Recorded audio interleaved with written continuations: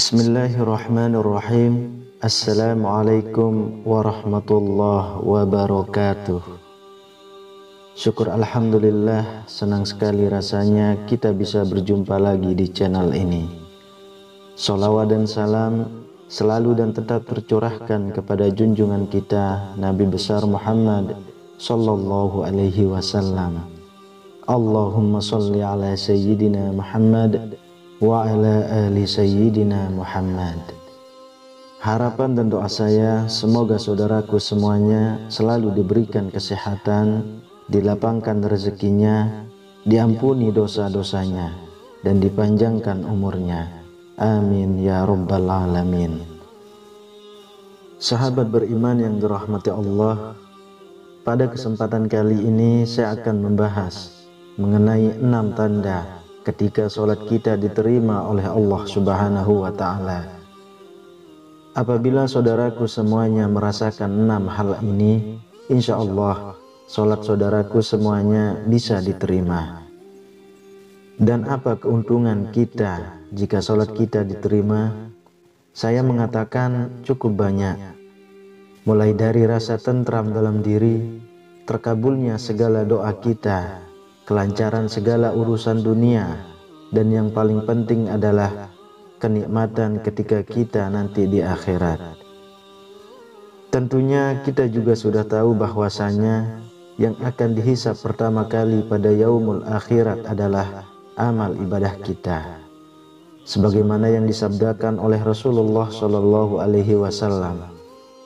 Sesungguhnya amal yang pertama kali dihisap pada seorang hamba pada hari kiamat adalah solatnya. Maka jika solatnya baik, sungguh ia beruntung dan berhasil. Dan jika solatnya rusak, sungguh ia telah gagal dan rugi. Jika berkurang sedikit dari solat wajibnya, maka Allah subhanahu wa ta'ala berfirman, Lihatlah apakah hambaku memiliki solat sunnah, maka disempurnakanlah apa yang kurang dari solat wajibnya. Kemudian begitu pula dengan seluruh amalnya. Hadis riwayat Tirmizi.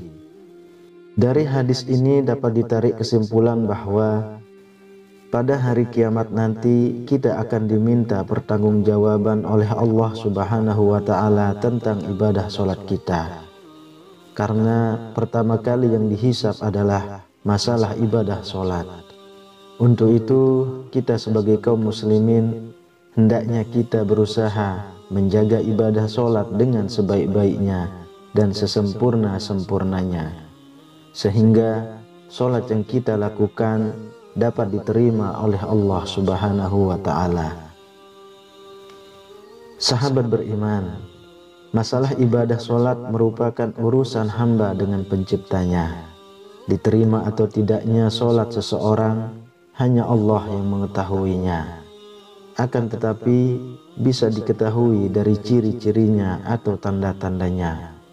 Sebagaimana dalam hadis Qudsi yang diriwayatkan oleh Imam Al-Bazar dari sahabat Abdullah bin Wahid Al-Harani, Rasulullah Shallallahu Alaihi Wasallam bersabda, Sesungguhnya aku, Allah, hanya menerima solat seseorang yang bersifat tawadu karena keagunganku dan tidak mencela makhlukku dan tidak membiasakan maksiat dan durhaka kepadaku dan menghabiskan waktu siangnya untuk berzikir kepadaku dan mengasihi orang-orang miskin dan ibnu sabil dan kepada janda-janda miskin dan mengasihi pada orang-orang yang tertimpa musibah.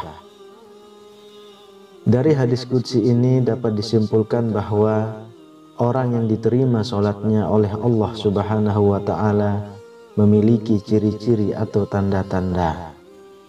Tanda yang pertama adalah sikapnya akan selalu tawaduk karena keagungan Allah, rendah diri terhadap sesamanya, tidak sombong, selalu mengagungkan kebesaran Allah.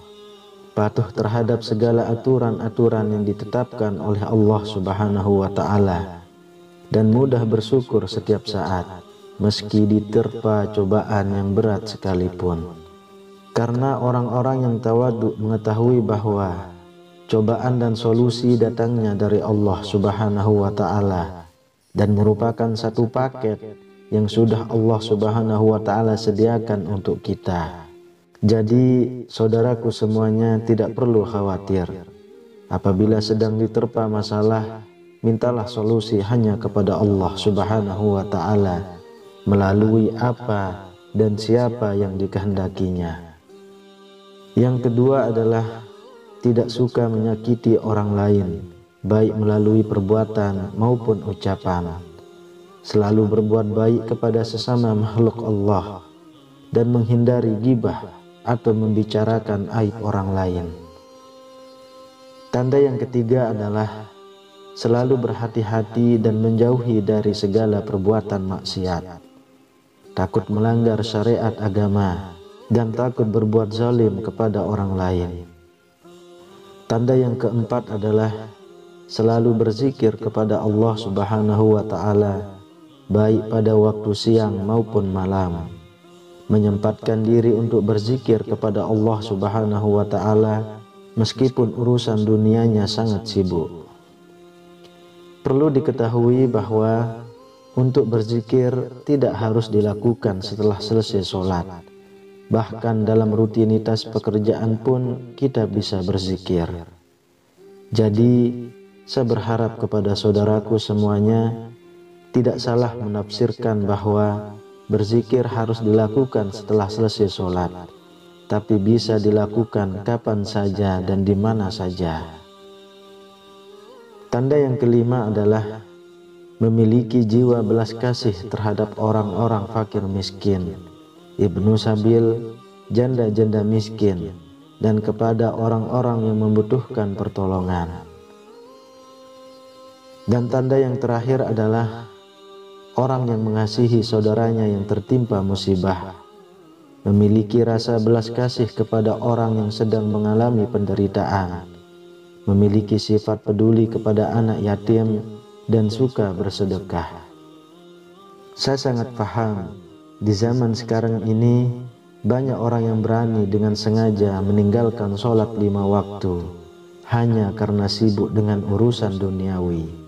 Meski begitu, saya sarankan kepada saudaraku semuanya, mulailah untuk menyeimbangkan antara urusan duniawi dan urusan akhirat. Apabila keduanya tercapai, insya Allah kita akan bahagia di dunia dan akan mendapatkan kenikmatan di akhirat. Amin ya rabbal alamin. Sahabat beriman yang dirahmati Allah, itulah keenam tanda-tanda yang bisa kita lihat pada diri kita masing-masing.